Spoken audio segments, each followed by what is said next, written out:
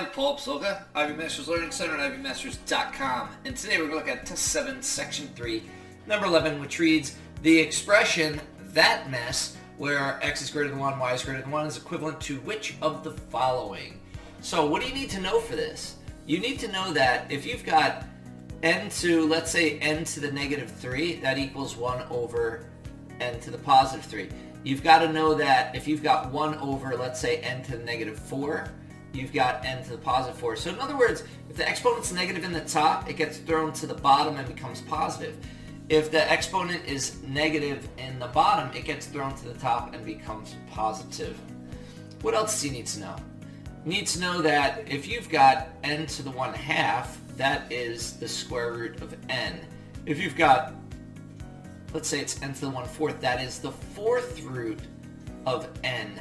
So notice, if it's to the 1 half, it's assumed it's a square root. Square root assumes that you have a 2 there. So in other words, what times itself will give you n, and if it's n to the 1 fourth, the fourth root of n, what times itself four times will give you n. So looking at this question, what do we got? So if we've got x to the negative 2 in the top, it's got to be x to the positive 2 in the bottom. Always do these things in pieces as you go. If we need x squared in the bottom, it looks like our answer, it's not underneath the root, so it looks like our answer is D. Done. If we've got y to the negative 1 in the bottom, then it looks like it's going to be y to the first in the top. Notice answer choice D has straight up y, just y, which is y to the first up top. Notice up top you've also got y to the 1 half power, which is a square root of y. Notice answer choice D has a square root of y up top.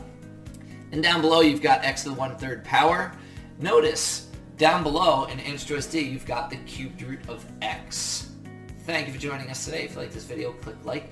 You can share it with someone who has difficulty with exponents, negative exponents, fractional exponents. If there's any question you'd like to see answered from any official PSAT or SAT or ACT, leave that in the comments. I'd be happy to shoot a video on it. Click subscribe so you don't miss anything, and check out our one minute video on TikTok. Have a great day.